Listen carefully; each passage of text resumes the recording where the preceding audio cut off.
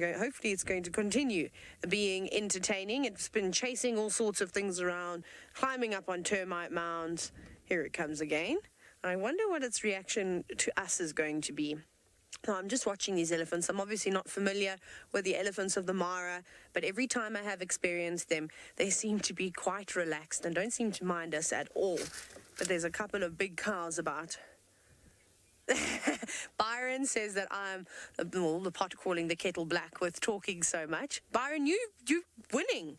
I think that you've taken the lead and uh, in in well talking more than I can. Come on, little one, off you go. Now this is fantastic. They're crossing right in front of the car. They don't seem to mind us at all. It's absolutely spectacular. Oh, I'm so happy to be with my favorite animal in the whole world. Sorry, that's me diving out of shot. I got so excited.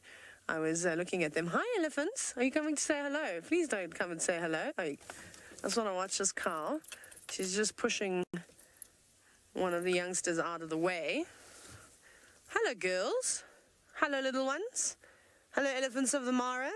You're all so spectacular and also big with beautiful ivory. Come on, little one. Are you not going to come and play? I thought you were going to put on a show for us. Hello, girl. Watching them very carefully. Yes, yes, you're quite excited, aren't you? Sure. This is an old lady in French here. Look at her. Look at her beautiful tusks. Hello, girl. Definitely a much older girl. She must be in her late 40s, if not even her early 50s. I think she has been around for a very long time. She's just stopping. Oh, she's found a little shrub that she quite likes the smell of. There she goes using her foot to scoop it up and pulling it up with her trunk into the mouth it goes. Now, Lola Dart, you're wondering how fast can an elephant run? Hopefully, we're going to have to show you today. we'll keep it peaceful.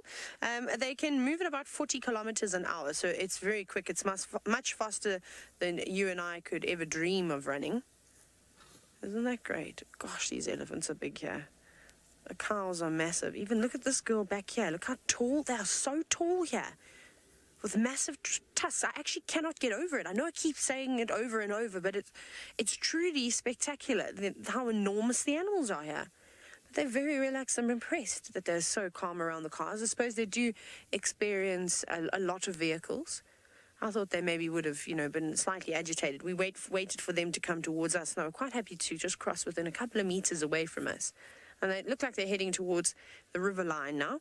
Uh, there is lots of food around there. But of course, you can see the grass is lovely and green at the moment, and they're stopping just to feed on the shrubs every now and then.